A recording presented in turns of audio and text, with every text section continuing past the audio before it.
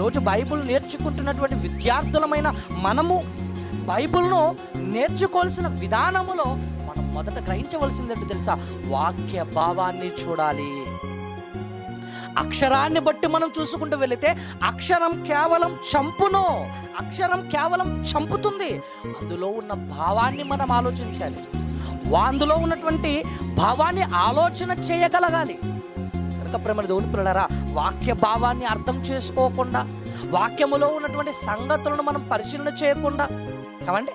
అందులో ఉన్న పై పై మాటలు మాత్రమే ఇదిగో బైబిల్లో ఇలా వ్రాయబడింది బైబిల్లో అలా వ్రాయబడింది అని వక్రీకరమైన మాటలు ఎవరైనా చెబితే అందులో మనసు పెట్టకండి వారి మాటలను నమ్మకండి. ఎందుకంటే ప్రామాణిక గ్రంథం బైబిల్ ఉన్నప్పుడు మనుషుల మాటలతో మనిషి జ్ఞానముతో మనకేమవసరం చెప్పండి.